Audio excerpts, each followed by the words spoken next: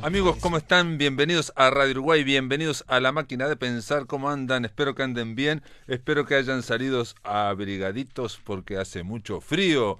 ¿Cómo le va a Gonzalo Gervás en control de emisión? Él no tiene frío porque es un hombre muy elegante. Y Carolina Cuadro en la puesta a punto ahí, en la mega producción de este programa tan prestigioso y con este controlador aéreo que tenemos que se llama Gonzalo Gervás. Amigos, eh, arrancamos la máquina de pensar. Hoy vamos a hablar eh, vamos a darle la bienvenida al artista visual, al gestor cultural, cultural, director, uno de los directores de la revista La Pupila, Gerardo Mantero. ¿Cómo andás? ¿Andás bien? ¿Cómo, andás, Pablo? Bien, bien, bien, bien, bien, con, fuerza, vamos a salir con fuerza.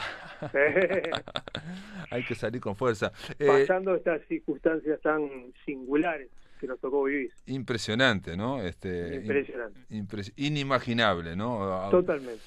Yo preguntaría si los artistas visuales que, pensaron en, en, paisajes apocalípticos se imaginaron en algún momento que Montevideo iba a estar llena de gente con mascarilla y que íbamos a estar todos este, sin, sin tocarnos a dos metros de distancia y, y sentándonos en, en, ¿no? en el ómnibus en, lugares separados. ¿no? Sí, el relato gráfico habló mucho de y de alguna manera ilustró bastante sobre el apocalipsis, ¿no? Este recuerdo, historietas y demás, pero y hay algunos ejemplos sobre el arte en, momentos de pandemia, ¿no? Pero sí, históricamente, sí, sí, sí. Históricamente, sí, recuerdo De, del Bosco, de Bruegel, hay, hay, unos cuantos. En el número que viene de la pupila va a salir una nota al respecto. Pero indudablemente es una especie de tsunami este, muy complicado y estamos tratando, todos los que estamos en cultura, de que de las algunas maderitas queden flotando y sigan perviviendo, ¿no? Esa es un poco la, la, situación actual y en lo que estamos todos, ¿no? Sí, de, de alguna forma algunos plantean de que de que esta crisis podría ser, porque esto va a haber una crisis obviamente similar a la del 2002. Eh, yo no sé, no me animaría a nivel económico, realmente no conozco tanto, mm. pero sí es cierto que la cultura, eh, por lo menos en lo inmediato, se ha visto tan golpeada o, más directamente golpeada que durante la dictadura, te diría, o, al comienzo de la dictadura. ¿no? Yo creo que son dos diferentes. Sí, obvio, obvio que son diferentes. Además, esta es mundial. Digo, lo que se viene después de esta primera el primer em, empellón este, grave, es una recesión a nivel mundial que va a perjudicar, bueno, todo tipo de producción cultural. Lo que sí queda claro que la, cultura y el arte en particular va a dejar constancia de este momento histórico, ¿no? Eso es indudable. Y que nada, en el fondo, la cultura no desaparece, pero indudablemente puede llegar a cambiar mucha cosa, ¿no? Evidentemente. Sí, bueno, poniendo ese paralelo quizás muy forzado con la dictadura o con, momentos críticos importantes, es cierto también que la cultura en general, este, la, respuesta se, se, reformula, ¿no? Constantemente, ¿no? Hay una reformulación y a veces, este, eh, la idea de, de, una gran, de no, de no poder ser directo, de no poder tener accesibilidad para todo el mundo o de no poder, en el caso de la, porque estoy pensando en el arte visual, este, uno puede usar internet, usamos las pantallas, toda esa historia, pero pero los cuadros hay que verlos de, frente, ¿no? Las instalaciones hay que hay que vivirlas, estar en presencia, ¿no? Porque nadie hace arte conceptual. Bueno, capaz que hay, alguien lo hace, digo, pero en general la idea es una coexistencia física con el espectador. Sí, claro, la idea de contemplador en una sala determinada, con una concentración determinada, de alguna manera eh, no es sustituible, ¿no? Este, lo que sí, siempre el arte da respuestas a situaciones críticas. ¿no? Nosotros somos de la generación de la dictadura, tuvimos 13 años eh, ante un régimen que quería aniquilar la cultura. ¿no? De alguna manera, eso fue un esfuerzo muy grande y muy bueno en cuanto al resultado final. ¿no? Entonces, eh, bueno, eh, seguir haciendo cosas y en eso estamos. Perfecto. La Pupila es una revista que se este, distribuye gratuitamente y ya lleva, eh, ¿cuántos años? 12 años. 12 años. 12 años lleva, es impresionante, 12 años. Este, con una periodicidad más o menos. Mirá, sacamos eh, cuatro números al año, en general. Hemos sacado más números y algún año que otro eh, menos de cuatro en función de que siempre hay que salvar una ecuación económica, ¿no? Que es, este bueno, siempre es muy difícil. Pero en general, y este año también lo tenemos este, planificado que sean cuatro, cuatro números. Perfecto, los directores son bueno Gerardo Mantero, Oscar La Roca, y para este número que va a estar ya, ya está en línea, este, aquellos que vayan... Este número es el primero que nosotros siempre tenemos una versión en papel y lo colgamos en nuestra web, que es www.revistarapupila.com. En este caso, eh, hay solamente una versión digital en la medida de que la distribución no se podía concretar, ya que los museos, los centros culturales, las galerías están cerradas. Sí, tenemos la, sí hicimos la promesa de que eh, no vamos a descontinuar la impresión. Y por más que tengamos uno o dos números solamente virtuales, cuando esto aclare, vamos a imprimir los números eh, anteriores, ¿no? ah, los van, a, los van a imprimir. Lo vamos, sí, sí, sí, no queremos, porque hay, nosotros tiramos 2.000 ejemplares y hay una cantidad muy grande de coleccionistas de la, de la publicación y a nosotros nos gusta mucho la, el papel, ¿no? Nos parece muy importante y pretendemos hacer eso, que no discontinuar la, la colección en papel. y digo, eso, hay, hay apoyos que ya están concretados, esa es la ambición. En este momento tan particular, de repente algo ocurre que no podemos concretar lo que queremos, pero ese es un poco el plan. Esos son los planes, perfecto. Y en, para este caso hay que decir que, eh, a ver, abuelo de pájaro, aquellos que quieran ir a la revista La Pupila, o si van al blog de la máquina de pensar, ya está linkeado también la revista, cliquean ahí donde dice La Pupila y va a la, a la, a la revista lapupila.com. Y el sumario son el, el, archivo Clemente Padín, este que está May Puchet, que hizo, es una especialista en en, Clemente. Sí, es una nota sobre el precursor del arte conceptual en Uruguay, ¿no? Claro, claro, claro. Y, sobre la eh, el proceso de conformación del archivo Clemente Padín. ¿Qué pasó en la universidad? Escritos y reflexiones que producidos eh, para la, red conceptualista del sur, por colegas uruguayos y extranjeros. Después tenés, eh, tienen a, mm, Florio Parpagnoli, no sé quién es, es un documentalista de arte, pero no sé quién es.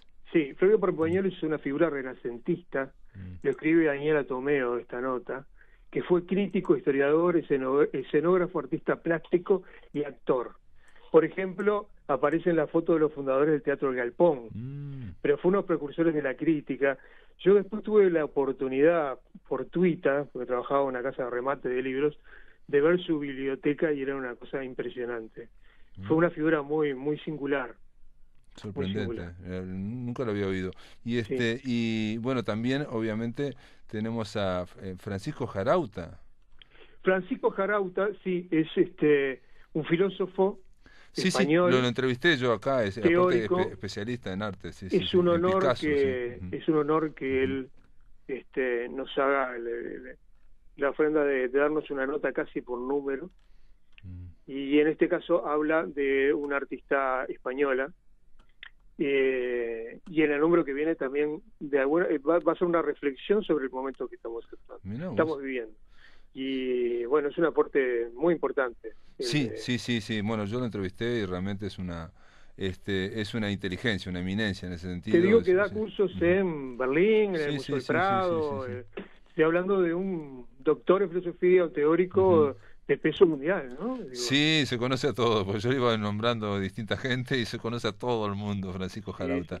Eh, eh, también hablaron de, de Figari en París, una exposición, este, esto está de hecho Figari en París, que es una, eh, la sextuple exposición de Figari en París, exposición sextuple se llama, que tiene una característica muy singular, que Figari propuso en el año 1931 hacer una muestra donde alternaba semanalmente sus series pictóricas. Así iba cambiando. Entonces el relato de las motivaciones, el contexto y los cometidos de este singular emprendimiento es lo que narra Tiago Cardoso, eh, Tiago Roca, Roca sobre documentos inéditos. Con cartas del propio Figari, que vale la pena leerlas, sí, sí, Acuña, entre otras entre otros, son brillantes, sí, sí, Figari. Y después Gerardo Hernández, La profunda expresión, un artículo de Oscar La Roca también está. Sí, e, es un artista que se puede catalogar entre la corriente de arte y otro, un artista de condiciones apreciables que tenía una enfermedad mental y que dejó una obra estimable a partir de ese contexto, esa situación, ¿no? Y después tenemos en la, la tapa y en la, entrevista central una entrevista a Carmela Piñón, que es una alumna directa de Ignacio Iturria, este, que ya tiene un vuelo propio este, bastante importante con tú seguramente tenés la tapa ahí, sí, sí, unas iconografías submarinas, pobladas de objetos, figuras ingrávidas. Yo, pensé que lo habían hecho por la pandemia, porque me parece, está todo como si fuera el mundo, este, no se sabe si está sumergido, el mundo sumergido, o una tortuga volando, digamos. Sí, además se hace una cosa muy interesante como las naturalezas muertas, que eh, establece el, la idea dentro de una pecera, los objetos los pone realmente dentro de una pecera, y luego los pinta con, con, una, un oficio ya muy estimable a partir de, a pesar de su juventud, este, y da esa, esa idea bastante onírica.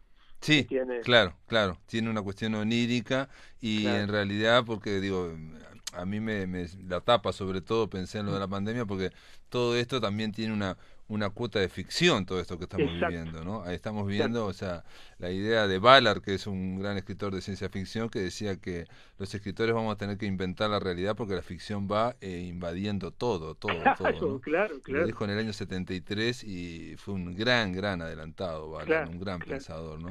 En este caso. Bueno, y Gerardo, eh, también me gustaría que nos contaras un poco una exposición que está eh, em, que está ocurriendo en ahora en Malmo de tu en Malmo sí yo te, es bastante interesante porque bueno este, esta exposición estaba planificada eh, en momentos de que irrumpió la la pandemia yo iba a viajar para la inauguración y bueno ah, hasta se cerraron los, la posibilidad de viajar de los vuelos pero igualmente en Suecia que tiene un encargo bastante particular de de, la pandemia, de cómo tratar la pandemia. Este, los museos, si bien están cerrados porque no permiten reuniones de más de 50 personas, en el caso de la Galería Rostrum, que responde a un colectivo de artistas en Suecia, este, como se puede ver por las vidrieras, todos los días van, prenden las luces y el videoarte, que yo hice, fueron 15 trabajos en papel un y un videoarte, que produje para, el, para, para la muestra y la gente la lo mira por las ventanas, además de mucha difusión, mucha difusión en las redes, ¿no? claro, claro, Entonces es bastante singular y para mí es un orgullo este, poner en ese lugar porque realmente estás hablando de un país muy singular en su producción cultural y con mucho nivel eh, en las artes visuales y en la gráfica en particular, ¿no? Claro, claro. Bueno, la, si van al, blog de la máquina de pensar o este lo, que ilustra esta semana es es una de las pinturas de Gerardo Mantero que es precisamente la pintura de la vaca, es una vaca muy especial, ¿no? Lo que pasa que bueno, el, el tema son eh, identidades, se llama la, exposición. Yo lo he trabajado, tú te acordás que tú me hiciste una entrevista me acuerdo, eh, sí, por la exposición del Museo Figari, he trabajado ese tema bastante. El tema de la identidad más bien nacional, ¿no? Nacional, pero yo lo, lo volví a retomar porque eh, anteriormente se fue invitado por la KQB Graphic, es, una, es un colectivo de gráficos, a hacer una, una residencia, curso, y me entrevisté con directores de museos, galerías y demás. Y Malmo es la ciudad más multicultural de Suecia. Mm. Y siempre había los productores de cultura una preocupación por reflejar eh, las distintas culturas existentes en Malmo. Y me pareció bien interesante, este, bueno, mostrar la nuestra.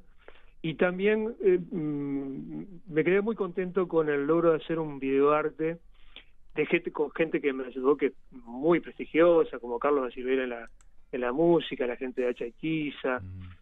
Este, Guillermo Casanova me regaló unas imágenes de una sudestada, típica sudestada montevideana, donde de alguna manera se grafica claramente algunas cosas de la cultura montevideana, que yo soy hijo de la cultura montevideana, ¿no? Uruguay al fin, pero la cultura montevideana tiene su singularidad. Claro, y hay un detalle también, este, que mm, digo, te lo pregunto, obviamente, ¿no? Porque Malmo, este, es una ciudad también emblemática para el exilio uruguayo, digamos, ¿no? o sea, aún hoy perdura gente que, tuvo que ser exiliada o después emigró por volvió y este y, hay, digamos, este son de los debe ser de las ciudades con con más uruguayos, este y, sí, sí, bueno, Suecia se portó de manera maravillosa con una cantidad de, exiliados este, en, la década de los 70 y este, tiene una estructura de producción de todo tipo y cultural también, hija de ese estado de bienestar, la socialdemocracia de, de Olos Palme, ¿no? Claro, sí, sí, y, no, y de antes, de antes, Olos Palme. Claro, un, experimento social muy, pero muy interesante. Entonces, por ejemplo, el, el, escenario de las artes visuales está poblado de colectivos, ¿no? Colectivos de grabadores, de escultores, de arte digital, que conviven con las galerías comerciales, con los museos, que hacen una, un escenario muy rico, ¿no? Donde la galería, por ejemplo, colectiva de artistas tiene el mismo prestigio que la galería comercial. Y este, todo tiene, todos tienen apoyos estatales, regionales y demás, eh, lo cual permite una producción muy estimable, ¿no? Muy, muy estimable, con museos de, bueno, de, europeos, de primer mundo, Estocolmo tiene museos muy importantes, Malmo también. No, eh, es, es, muy, muy interesante. Yo me sentí muy bien. Pero digamos, el, vínculo tuyo no fue a través de los uruguayos o Sí, fue a través de dos artistas uruguayos. Ah. Juan Cano, que es un artista uruguayo grabador, que hace muchos años que está allá, y Pepe Viñoli, que también hace muchos años que está allá. Sí, sí, hay muchos uruguayos. Y, y yo los conocí, me, me invitaron, pero luego los colectivos, y eso es gratificante para mí, funcionan como tal. Entonces, todo, todo tiene que ser aprobado por, por, el conjunto. Te presentan, te abren la puerta los uruguayos, pero... Este, se tienen que aprobar los otros, sí. Se tienen que aprobar los otros. Claro, obvio. Se tienen que aprobar los otros. y realmente fui, estuve un mes y pico y tenía muchas ganas de volver. ¿Y, cuándo fuiste, perdón? Fui hace dos años. Ah, fuiste hace dos años. Ahora para la exposición esta no pudiste... Y no pude ir no pude ir. No pude ir y primero pensamos que de repente podía haber, podía llegar al, al hacer un vernizaje al final de la, exposición, pero tampoco, la exposición tiene un mes más, ah. un mes más, pero no van a existir las condicionantes como para poder hacerlo. Es muy difícil, es muy difícil. Pero bueno, es otro signo de los tiempos, un pintor, un artista visual uruguayo expone, y pero no puede ver su exposición vía vía vía Facebook, ¿no? sí, alguna, es que alguna ventaja tiene en cuanto a que la difusión, por ejemplo, la, la, la una reseña de la muestra sería una, una de las revistas más importantes de Suecia de arte, y tal vez si no hubiera pasado esto, ante la cantidad de exposiciones que hay, de repente no llegás a, a un lugar tan tan importante. Yo qué sé, hay que ver el resultado final. Indudablemente perdés cosas, lo presencial, como está perdiendo todo el arte. Sí, sí, sí, sí. Pero bueno, bueno, eh, veremos, veremos cómo salimos de esta. Vamos a salir y, y, yo siempre digo lo mismo que te dije al principio, ¿no? Así como en la dictadura la censura desarrolló una, por ejemplo, una literatura entre líneas, en entre líneas, o lo mismo la música en el canto popular, este, algo que no sea lo implícito y no lo explícito. Bueno, este, a veces las limitaciones pueden tener efectos este, creativos ¿no? en los artistas, ¿no? Veremos. Sí, sí, sí, Yo me puse a trabajar y, le doy mucho ánimo a, muchos colegas para que lo hagan, porque creo que hay que dejar registro de este momento tan, tan, pero tan particular, ¿no? claro, claro, claro. El arte siempre lo ha dejado y lo que te pasa por dentro, lo, eso, inconsciente, exacto, eso es lo que se puede, digamos, registrar, porque, digamos, para, digamos, ahora en este momento el registro de los medios eh, no se puede competir, ¿no? O sea, con las Pero sí lo que hace falta siempre, eso es información, lo que hace falta es interpretación, ¿no? O sea, que pase por uno. Gerardo Mantero, eh, felicitaciones por la por esta exposición en Malmo y bueno, y ya saben todos, si van al blog de la máquina o si van a la revista lapupila.com eh, pueden leerla en línea gratis. Te mando un abrazo grande. Muchas gracias Pablo por la difusión, ¿eh? Muchas gracias. Chao, chao. Muy bien amigos, ahora en la máquina de pensar vamos a oír el cuarto episodio de la serie de ficción radial que está eh, realizada en San José. Se llama Proyecto Punta Coronilla. El episodio, el episodio de hoy es La comadreja y el elefante. Esta serie viene guionada con el guion de Pedro Peña.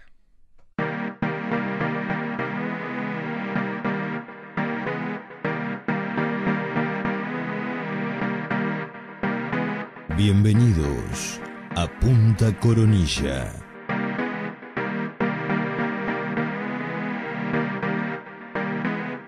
Este es nuestro programa informativo con las últimas novedades de la región y sus habitantes.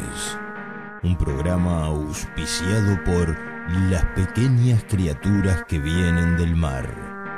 Un programa que busca resolver, con mucho cuidado, las grandes preguntas de la semana en Punta Coronilla.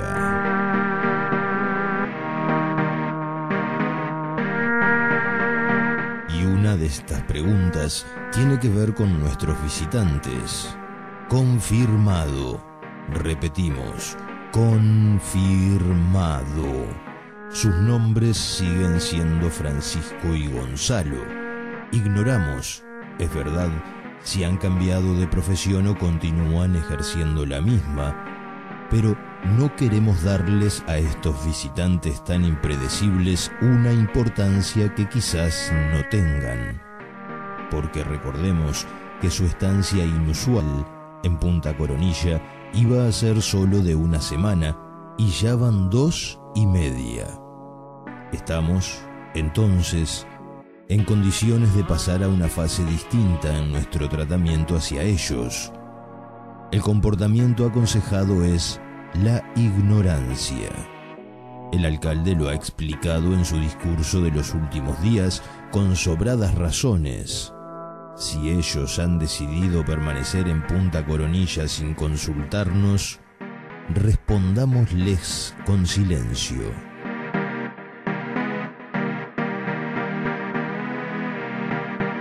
Pero que mantengamos silencio no quiere decir que no nos preocupe en absoluto la suerte de Francisco y Gonzalo. Hemos recibido el informe de Alex, el hermano de Axel, el político del manicomio. Como ustedes recordarán, pues se les ha enseñado en sus clases de educación primaria, Alex es nuestro informante secreto. No tan secreto, puesto que sabemos su nombre y conocemos su familia.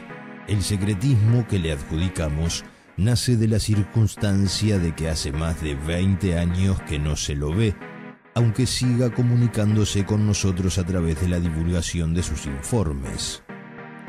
No entraremos aquí en el debate siempre presente de nuestra sociedad acerca de si los informes de Alex son de Alex o si Alex no es más que una creación de algunos interesados en desestabilizar al alcalde de Punta Coronilla.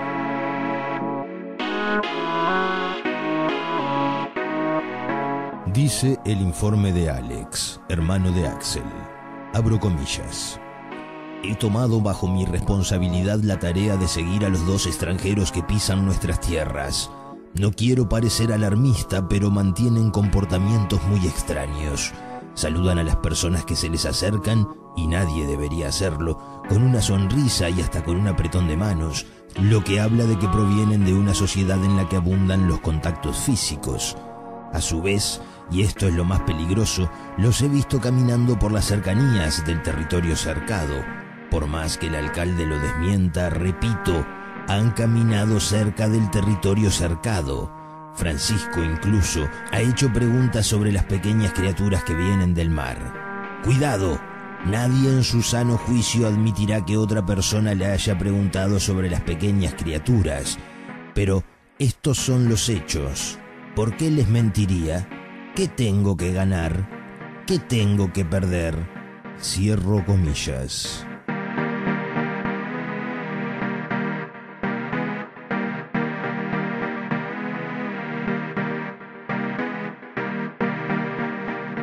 Las elecciones de esta semana en el manicomio central de Punta Coronilla han resultado viciadas de nulidad, o sea, han sido anuladas. El equipo integrado por Axel, el político, Gabriel, el puritano, y Selmar, el peluquero, las tres P, político, puritano y peluquero, realizó acusaciones gravísimas contra sus rivales de las tres M, Franz, el mudo, Mario, el macho, y Johan, el meridiano. Las acusaciones derivan de algunos sucesos extraños que se dieron lugar durante el conteo de votos.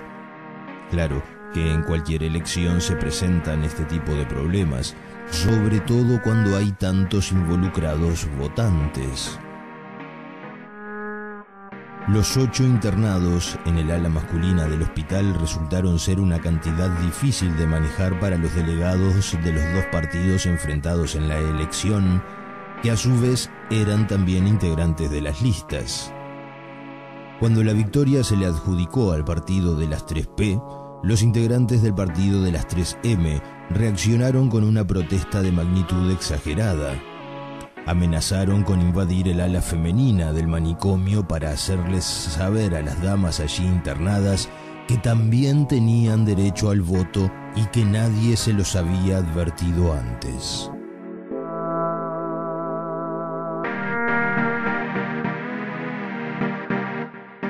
Las autoridades del manicomio central han podido controlar lo que bien podría ser tomado como un brote subversivo, para prevenir desórdenes, los pacientes han sido sedados, incluso los ganadores, con lo que se pretende evitar que el nerviosismo reinante les cause un retroceso en los tratamientos respectivos.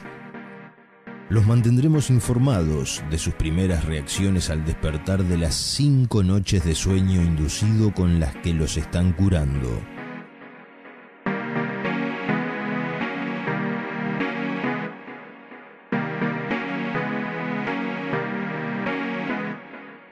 ha llegado el momento infantil en la noche de Punta Coronilla.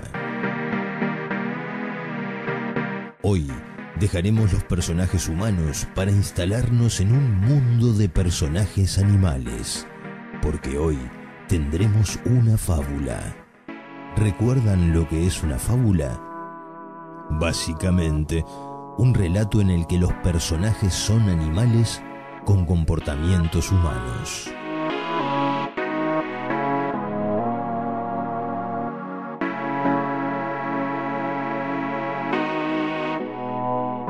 Había una vez un gran elefante que pretendía entrar al territorio cercado. Con su larga trompa intentaba derribar uno de los postes de concreto que contienen el cerco y evitan que las personas y los demás animales puedan entrar, tras lo que seguramente ocurriría un desastre. Cuando ya casi lograba su objetivo, una comadreja se le acercó y, Aquí es conveniente aclarar para aquellos de ustedes más desinformados acerca de las tendencias de la narrativa actual que, dado el concepto de multiverso, o sea, muchos universos paralelos que además se cruzan, lo que hace posible que dejen de ser paralelos, por cierto. Bueno, decíamos que gracias a esas nuevas ideas es posible inventar una fábula en la que animales como los elefantes y las comadrejas convivan, aunque en lo que llamamos realidad vivan a miles de kilómetros de distancia, en continentes alejados.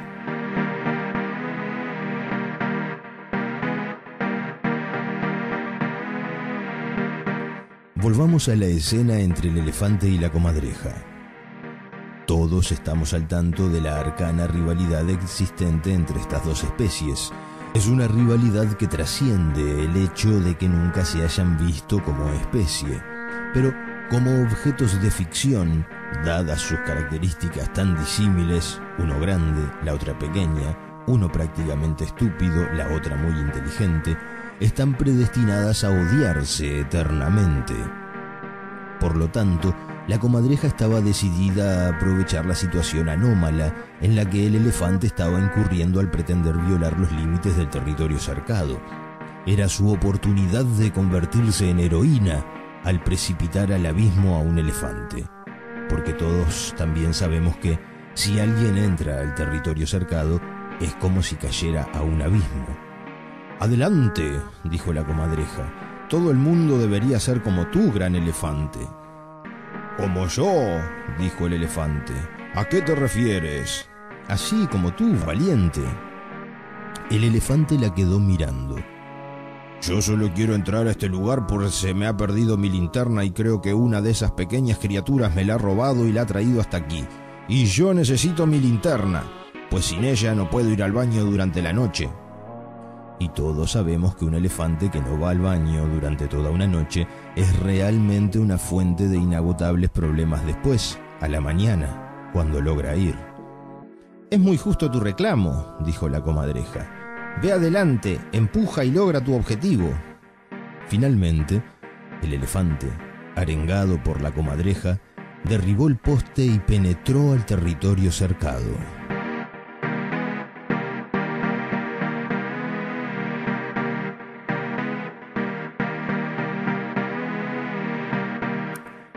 Dejamos para el final una pregunta.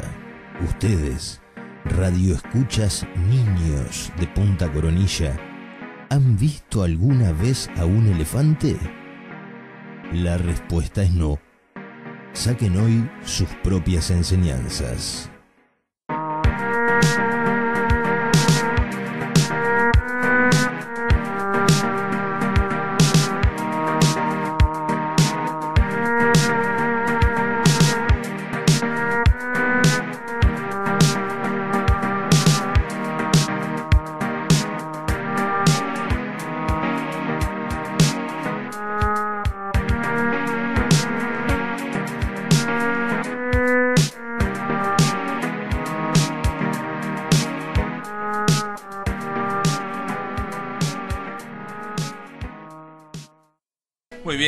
Quiere decir que está con nosotros Wilmar Umpierres, el vuelo del cuervo. ¿Cómo le va? ¿Anda bien? ¿Cómo anda, estimado?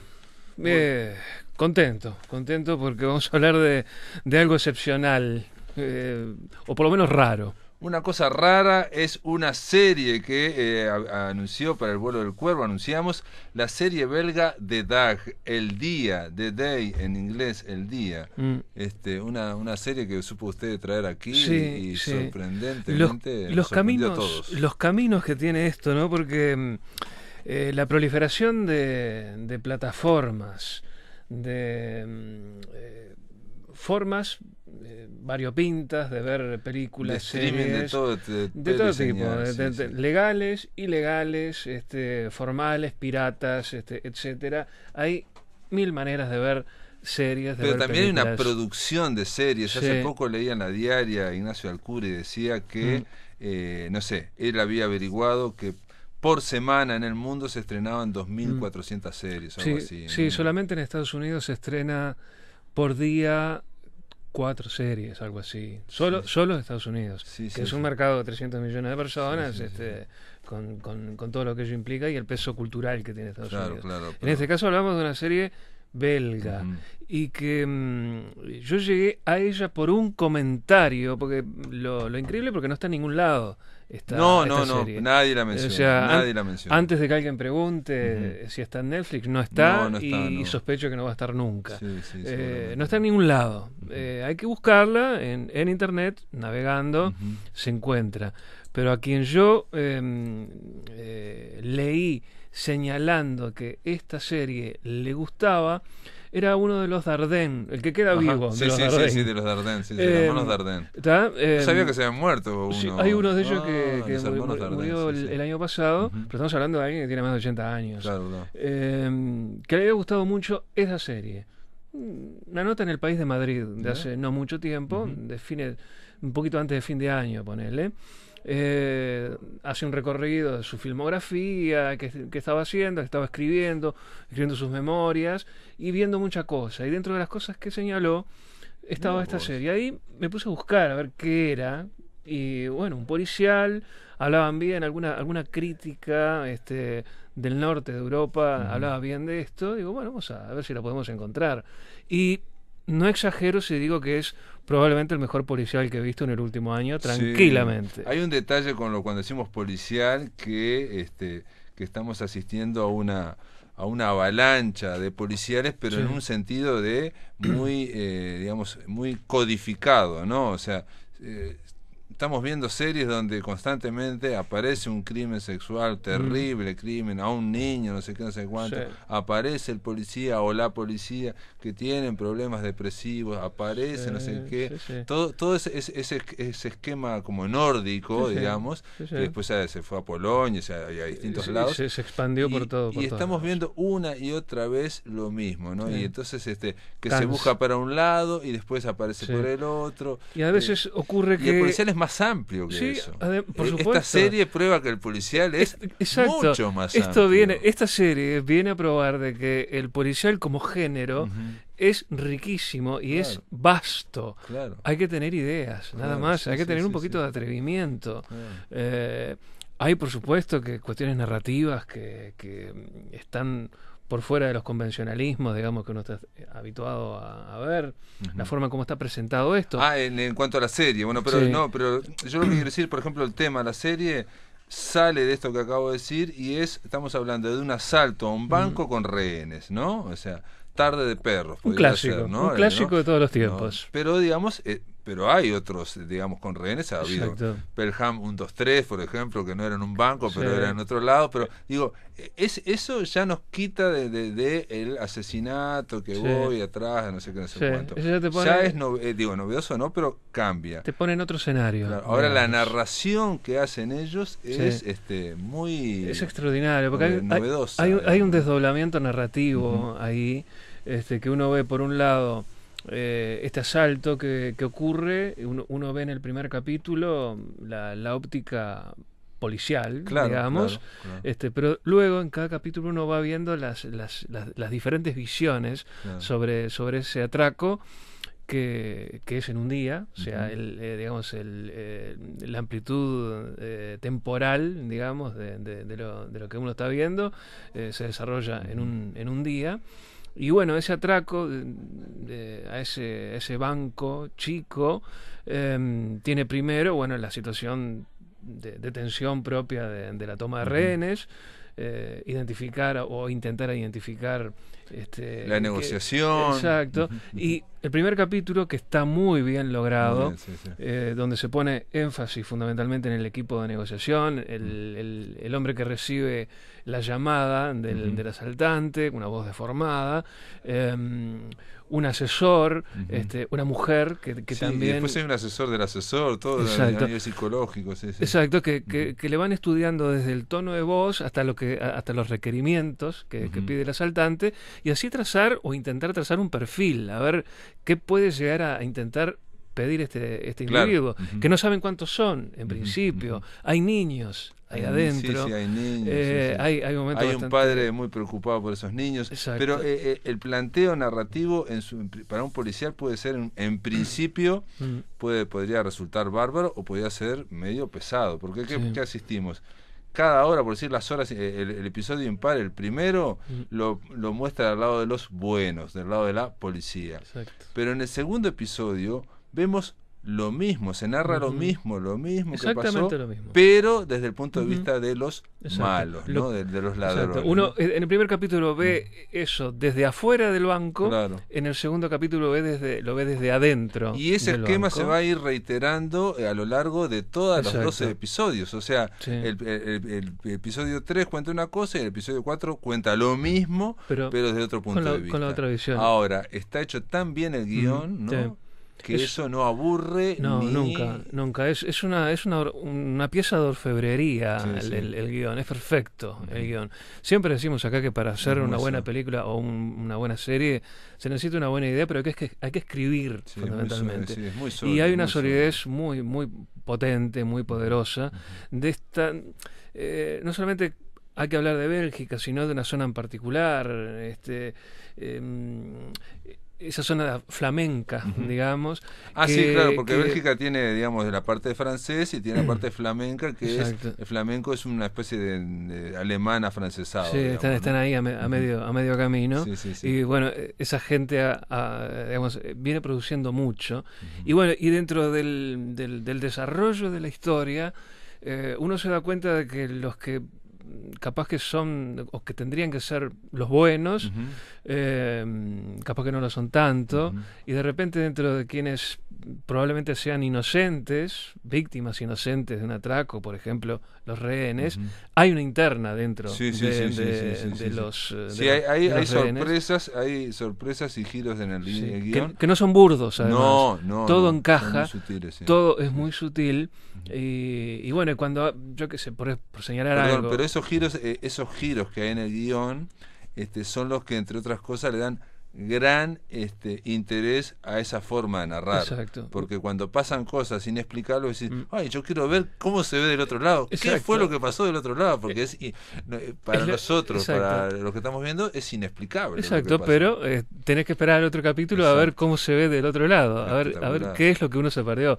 Es tan perfecta la forma en cómo está narrado esto, porque es, esa es la palabra. Sí, la sí, narración Sí, de la serie es este, no solo novedosa, sino que eh, por momento eh, eh, abruma la belleza, digamos, con la cual es está, muy sólida y, y otra cosa que ocurre es este la dirección de actores, los Sí. actores, ¿no? O sea, Sí, es, sí. es coral esta película, son todos personajes protagonistas y hay una gran sobriedad, ¿no? Ninguno destaca No, nunca. Uno cree que va a destacar por No. los problemas existenciales, que no, de los traumas, los problemas que tienen cada uno, digamos, una protagonista se le va a morir el padre, en fin, la- la típica, ¿no? Que, sin es que embargo, ocurre no. siempre en, en toda serie o en toda película y mucho más en el, en, en el, en el policial. policial, sí, eh, sí. siempre alguien tiene que destacar, siempre, Siempre, alguien siempre. saca la cabeza. Acá no, acá están en un nivel absolutamente plano todos, nadie destaca sobre el otro y las actuaciones son de, de una sutileza y de una sobriedad. Sobriedad creo que es la Sí, palabra. sí, sobriedad es la palabra Eh, porque hay casi, casi diría yo, eh, realista, ¿no? Una especie como de monotonía. Todos están trabajando sí. y aparte, no vamos a spoilear nada, pero digamos, en otra serie policial, si apareciera un psico killer o alguien que estuviera con problemas mentales, siempre se generarían, digamos, grandes actuaciones, en fin. Claro. Y aquí hay una sobriedad y es No hay nadie que destaque. Vos imaginate esto, pero hecho en Estados Unidos Uf. y con- el, con el esquema, digamos, que habitualmente tiene Estados Unidos para desarrollar estas historias, salvo algunas este, muy honrosas excepciones, estaríamos hablando de alguien que se come la serie en Claro, algún momento. exacto, Acá sí, no. sí, sí, sí, Acá mm, lo que prima es la, es la historia, es la forma en cómo está narrado, Exacto. no los personajes en sí, que son, repetimos, planos. Eh, los guionistas, para que tengan una idea, eh, son Julie Mathieu y Jonas Grimard. Son eh, pareja. Tienen 23 y 22 años. Son niños. Niños. Sorprendente. ¿verdad? Son los que han escrito esto de una manera tan, este, tan Está- tremenda. Está muy bien el, eh, el guion sólido y yo pensaba, sí, cuando hagan, el- porque probablemente van a hacer el remake Sí, en Estados. Unidos, difícilmente en Estados Unidos se banquen que haya eh, 10 protagónicos, por No, ejemplo, ¿no? no, o no. 8 protagónicos, porque todos están al mismo nivel. Exacto. Incluso cuando hay revelaciones sorprendentes, Ujú. Continúan Sí. todos al mismo nivel. Exacto. Incluso además con el, el, eh, dentro de, de esa gran bolsa eh, está el papel de la policía, de, de los delincuentes, de los banqueros, Sí, sí, eh, de los empleados del banco, de la prensa, este, digamos, del eh, lavado de, de eh, dinero. exactamente. O sea, el tema de la, bueno, de, de, el reality show, ¿no? O sea, Sí. la, la- la locura que hay por, por este, por filmar todo al mismo tiempo. Exacto. Increíblemente, por ejemplo, no vamos a spoilear nada, pero digamos, los propios delincuentes saben que si se está filmando al, al- en directo, bueno, para ellos va a ser una una ayuda, en fin. Sí. Entonces, Sí, sí, es, eh, es una, realmente es una serie este, perfecta. Realmente es una serie perfecta. Hay otro detalle. Eh, la, mm, la serie se comenzó a, emitir en una eh, pequeña, eh, un pequeño operador de cable de Bélgica que se llama Talent, Telenet, eh, una vez por semana, un canal chiquito, regional. Eh, comenzó así, de una manera absolutamente subterránea, la, mm, digamos, la, la, eh, Sí, sí, sí. la expansión de esta serie. A las dos semanas era un fenómeno este, absolutamente nacional. Este, eh, una serie con ambiciones, producida por gente prácticamente de- desconocida, Desconocida. escrita por unos veintañeros, Ujú. producida para una para un canal regional chiquito y de sin pueblo. gran despliegue presupuestal, digamos, porque está, digamos, el, el banco, después hay una, un, un momento- momento una No. represa y después hay Ujú. una casa. Son Eh, tres lugares. Lo que sí hay gran despliegue, digamos, de, como es colectivo esto, Exacto. de policías, de, de- de autos, en Sí, ese- pero tampoco hay, eso es Hay un amuchamiento de gente en los alrededores del, Sí. del banco, pero, pero no mucho más que eso. Eso no es un gran despliegue Este, claro, no hay, no hay persecuciones, No, no, no, este, no, no, no. no haber eh, este, tiroteos, No, ni no, no, nada no. por el estilo, o sea, incluso hay algunas actos un poco torpes, digamos, de, por parte de la policía en algún momento, digamos, que en el intento de ver qué, qué era lo que estaba ocurriendo, se mandan alguna que otra macana. Sí, Este, eso, eh, eso también está muy bien. Está, está- muy bien, está muy bien El logrado. hecho de que la reacción de la policía, mientras se van dando de Mm. cuenta de todo, digamos, eh, van eh, Sí. eso, haciendo Sí, tropezones. sí, ¿no? a- Van- Y además, digo, hay Todo. detalle, un policía, este, una baja policial, producida por un accidente, en realidad, de un, de un hombre, un anciano que se asusta, Oh. toma, toma una escopeta y, y- y ma- y Sí, mata a un policía sí, sin saber que era un policía, pensaba que estaba ante un asalto, yo. O sea, un hecho cotidiano, absolutamente cotidiano, familiar, digamos, este, desencadena, digamos, un- lo que podría ser una tragedia en, en- en ese caso. Eh, O sea, pero no es a causa de un eh, tiroteo ni nada por el estilo. Hay francotiradores dispuestos, este, hay una red de comunicación permanente, pero nadie sabe qué hacer porque están ciegos. En realidad no, no- no están sabiendo qué es lo que ocurre adentro del banco. Exacto, y adentro del banco también están ciegos, porque no tienen muy claro qué es lo que está ocurriendo afuera, pero tampoco adentro.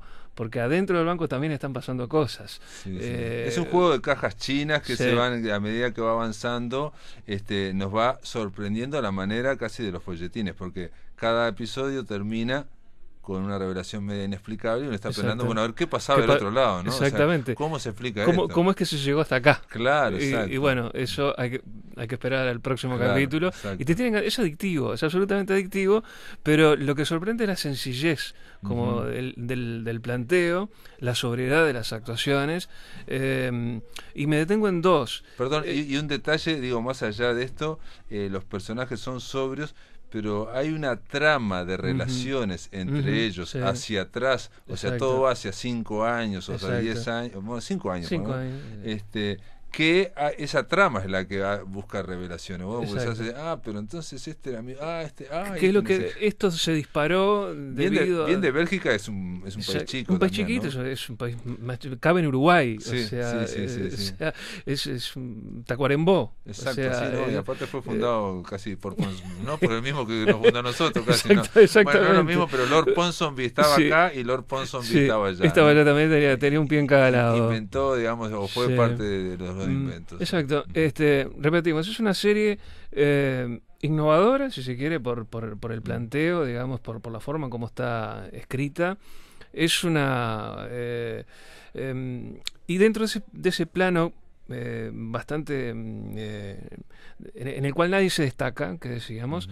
El, el papel de la policía, de la mujer policía, que, que- que es una, una eh, supuesta experta en, en cuestiones que tienen que ver con la, nego- Negociación. en la negociación Ujú. con, con delincuentes y demás, eh, uno le ve la cara y ve la tensión y, y ve una, una actuación sobria que no quiere destacar en ningún momento, pero le ve la angustia en la cara de esa mujer, así como ve al, al, al- al- pobre este, negociador joven, Sí, joven que ponen en el lugar para intentar este, manejar esa situación, eh, que también llega un momento que parece no poder soportar el peso de la Sí, negociación. Yo, honestamente, como estamos hablando de bancos con rehenes y se Mm. planteó al principio eh, el tema de que los negociadores con los rehenes, este, el tema es que si te equivocas en una palabra o, una, o en una pregunta, puedes desencadenar la muerte de los rehenes. Entonces pensé que podía estar girando en torno a eso, la responsabilidad.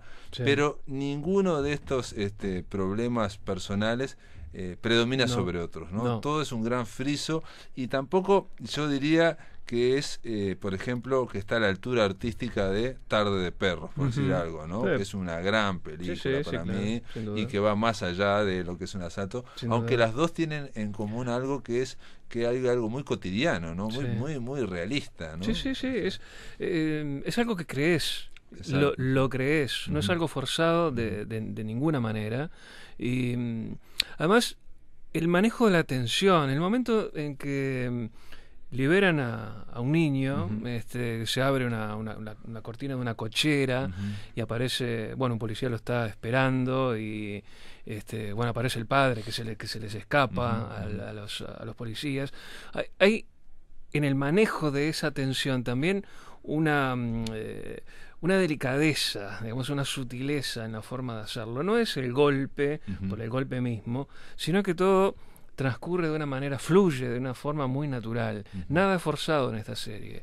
Todo Sí, ocurre sí, sí. y todo ahí, ahí se cometen errores también, digo, para que, por ejemplo, e- ese es el primer, estamos hablando del primer episodio, o sea, Ujú, no estamos diciendo mucha cosa, este, pero también pequeñas eh, eh, torpezas de la policía, de, de pequeñas. ¿no? Hace que una una situación que está en gran una gran gravedad y que cualquier cosa la puedes equilibrar, bueno, Exacto. aparece Eh, y, y después van a notar que a medida que transcurran los capítulos y se llegue al, al- al último de esta docena de capítulos, se puede contar una buena historia en, en, en, en 10, 12 capítulos tranquilamente y no se necesitan 8 temporadas este, para, Ah, para no, una historia. No, no, no. Este, esto por ejemplo, no, digo, no, no, no habilita para hacer nunca No, más. no, jamás. Esto, arranca y termina acá, termina punto. acá, por digamos, suerte. Para que nos quede a nosotros, estos policías, todo, todo esto, ¿no? Lo que sí, sí. ocurrió, ¿no? Y, y además, cuando termina la serie, te, a mí al menos me dejó la sensación de que había visto algo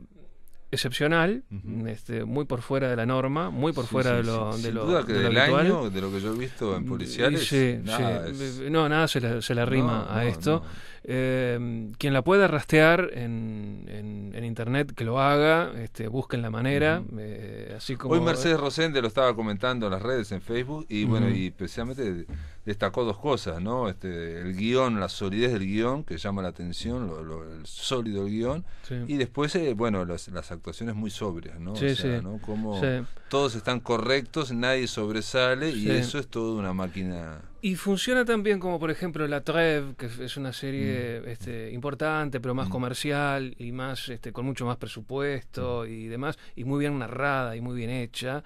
Esta es otra cosa, es mucho más plana, pero me lleva a pensar de que qué bien que están haciendo las cosas los belgas. Ah, mirá, sí, porque sí, hablan, sí. mm, eh, en el caso de La Treve, que, que es una serie que está en Netflix, eh, digo, desde, desde llegada masiva. Y que es una eh, temporada también. Son ¿no? dos, Ah, dos temporadas con un personaje que sí destaca del resto, un personaje este, masculino, que ahí sí se come la serie. Bueno, esto es todo lo contrario. Esto es, un, es una historia al servicio de la historia. Exacto, Es sí, sí, sí, Eso. toda la Sim- película, sí, sí. simplemente eso. Eh, y se defiende con esas herramientas, con una buena escritura. Lo bien, o sea, lo importante que es Ah, escribir bien este tipo de cuestiones. Algo que en el Hollywood de clásico, ¿no? De los años Sí. 40 y 50 estaba clarísimo, ¿no? Lo- lo que todo se construía a, a partir del guion. a ¿no? partir si no de que- aparecía un guion si no- si- sólido. Si no tenías guion, no tenés película. Si no tenés guion, no tenés una serie. Y bueno, esta gente demuestra, estos veinteañeros han demostrado Increíble, de sí. que este, se puede hacer una arquitectura, este, digamos, literaria, porque esto es literatura, en Sí, definitiva, sí, em, y llevarlo a la pantalla de una manera muy sobria y, y sorprendente. O sea, yo no creo que haya visto algo mejor en el último año. Y eso que uno es de ver Sí, cosas. pues has visto bastante, estás viendo bastante. No, sí, yo de acuerdo, en este año sin duda es el, el de Dag El Día, una serie belga que recomendamos aquí en el vuelo del cuervo. Wilmar Umpierres, gracias por estar en la máquina de pensar. ¿eh? Las gracias como siempre y un abrazo. Amigos, se terminó la máquina. Mañana vamos a estar conversando con Jaime Clara sobre su nuevo libro de caricaturas. No está todo dicho, está editado por Planeta y es un muestrario de intereses, de sus intereses, los intereses de Clara, de Jaime Clara, en cultura y política y una opinión sobre esos personajes. Y luego en la auténtica Rocola vamos a llamar a Chile para hablar con Patricio Hidalgo y continuar la columna dedicada a Luis Eduardo Aute. Esto es todo amigos, que lo pasen muy bien.